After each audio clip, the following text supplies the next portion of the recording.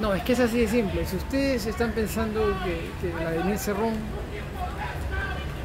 es comunista, están, ustedes no merecen ser ni, ni periodistas ni políticos. Retírense de ahí, por favor.